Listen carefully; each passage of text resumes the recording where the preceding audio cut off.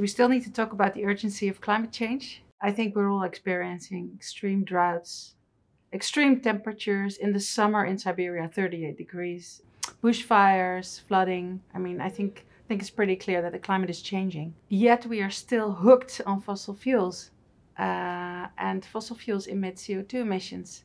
CO2 that has been captured by fossil fuels over millions and millions of years are now being released into the atmosphere in like a few few hundred years.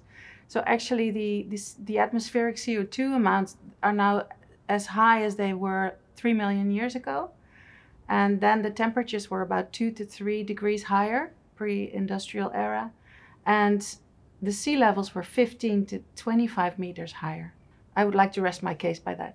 Well, the funny thing is that we all say that uh, climate is urgent, but uh, we don't act as if it is urgent. And so I would like uh, to paraphrase uh, Sir David uh, Attenborough, who basically says that it is frightening, but uh, the climate evidence and science is telling us that if we don't act uh, vigorously within the next decade, that we will see a loss of the natural worlds and even a loss of our societies as we know them today.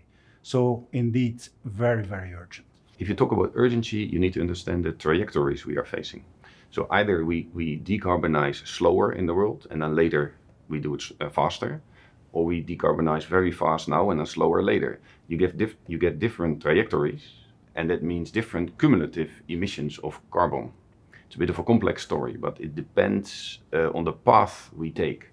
Uh, and in the end, technology is important. So the, if we get advanced technologies, we will decarbonize faster and vice versa.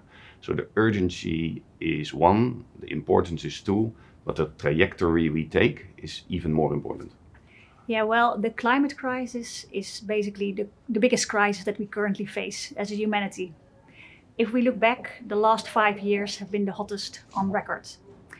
And if we want to keep a world that is also attractive to live in for our kids and their kids, I think it's very clear that the sooner we act, uh, the less costly it will be to solve this crisis. So that should all bring us into a clear action mode. The urgency is really to act now. Uh, business as usual will lead to a world that is unlivable for our children.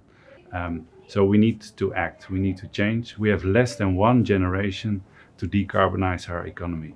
That's a complete overhaul of the way we live, the, the way we eat, the way we travel, uh, and we need to do that within one generation.